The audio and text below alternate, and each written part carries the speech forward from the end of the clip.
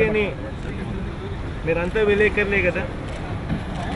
Investigative journalism చేసి కారణాలు ఏమిటి అని చెప్పి మీరు ఏమైనా అధ్యయనం చేసే ప్రయత్నాలు చేసి గట్టిగా ప్రభుత్వం నిలదీసే కార్యక్రమాలు ఏదైనా మీరు చేస్తే చాలా బాగుంటుంది. ఆంధ్ర యూనివర్సిటీలో ఆంధ్ర యూనివర్సిటీలో జియో ఇంజనీరింగ్ అని చెప్పి మన ఆంధ్ర యూనివర్సిటీ ఇక్కడ విశాఖపట్నం చెందిన ఆంధ్ర యూనివర్సిటీ జియో ఇంజనీరింగ్ మీద ఒక అధ్యయనం చేశారు.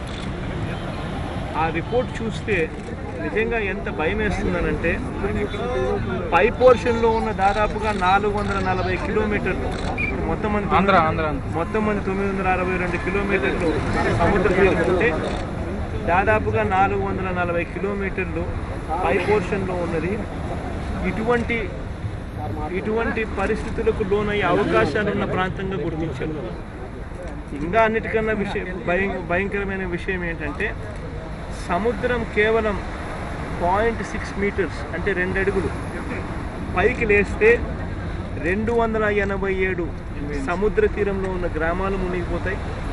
దాదాపుగా పదమూడు లక్షల మంది మనుషులు నిరాశ్రయులయ్యే పరిస్థితి వస్తుంది.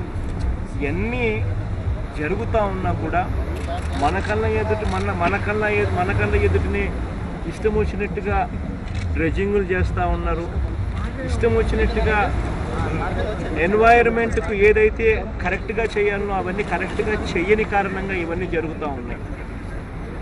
దీనికి నిజంగా కూడా ప్రభుత్వం ముందు నుంచి గట్టిగా స్పందించాల్సిన అవసరం ఉంది.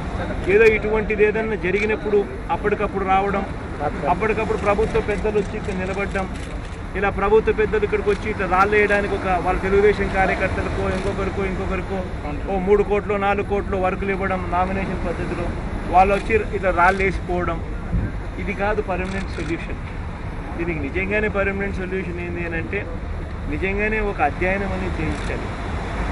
నిజంగానే ఒక నిపుణుల చేత కేంద్రం నుంచి పిలిపించి ఇంకా కొంత ఇంకా ఈ రంగంలో ఇంకా నిపుణులు ఎవరైతే ఉన్నారో అందరి చేత ఒక అధ్యయనం చేసి ఒక పర్మనెంట్ సొల్యూషన్ అనేది తీసుకొని రావాలి.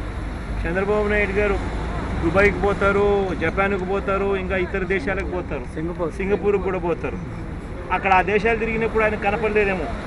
అక్కడ ఇటువంటి పరిస్థితులు రాకుండా చూడడం కోసం అక్కడ హెడ్ గ్రాయిన్ బ్రేక్ వాటర్స్ అని చెప్పి ఒక టెక్నాలజీ వాడతారు. Head groyne break water technology అని. మరి ఆ టెక్నాలజీ అక్కడ నుంచి ఇక్కడికి ఎందుకు తీసుకొని రావడం లేదు? అక్కడ అది పోయిన పోయి చూసినప్పుడు అక్కడ కనపడలేదా? ఈ కార్యక్రమాల మీద సీరియస్గా గట్టిగా ప్రతిపక్షంగా మేము నిలదీసేది మేము నిలదీస్తాం. ఈ నిలదీసే కార్యక్రమంలో మీరంతా కూడా విశాఖపట్నానికి చెందిన జర్నలిస్టులు విశాఖపట్నానికి చెందిన ఇంపార్టెంట్ సోషల్ ఆర్గనైజేషన్స్ అన్ని అందరం కూడా ముందుకు వస్తేనే దీని పర్మనెంట్ సొల్యూషన్స్ అనేది మనం తేవడానికి ప్రభుత్వం మీద ఒత్తిడి తేగలదు మీరు అందరూ కూడా దయచేసి రండి గట్టిగా ప్రభుత్వాన్ని గట్టిగా